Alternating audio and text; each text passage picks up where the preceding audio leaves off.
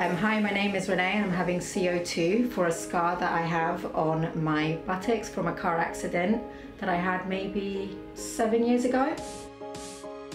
Over the years, I haven't really cared about the scar. However, in the last two years, I have. It has started bothering me more, more so when I'm on the beach in a bikini. I get asked from different people what it's from and how I got it. I got to a point that I am not enjoying telling the story of how I got the scar, so I wanted to see what treatments I could receive. I wanted to get CO2 treatment on the scar because the scar had been left to heal inside out. So the majority of the scar is indented and very visible.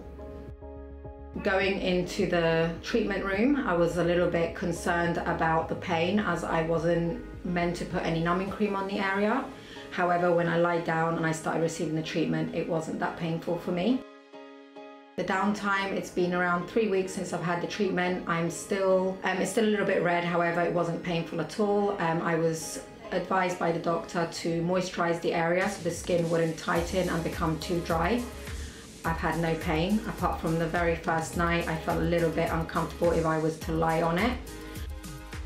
I haven't seen the results yet since I'm still healing from my CO2 treatment. However, I'm really excited to see what it will be like on the eighth week since my treatment.